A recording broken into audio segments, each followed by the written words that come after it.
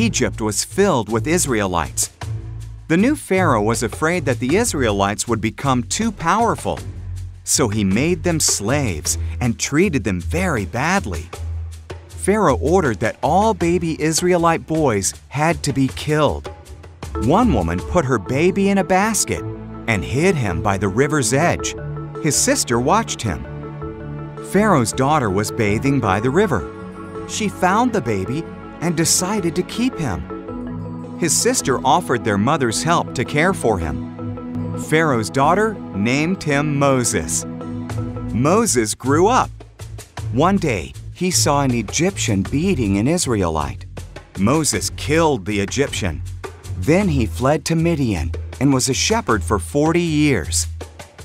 Moses was watching his sheep on Mount Horeb.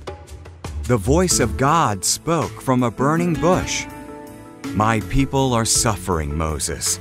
I have chosen you to free them. I can't, Moses cried. I'll help you, God promised. Throw down your staff. Moses did. It turned into a snake.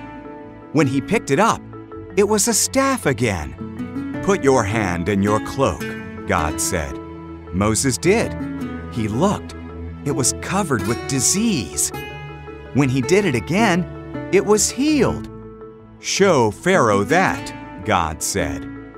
I'm not a good speaker, said Moses.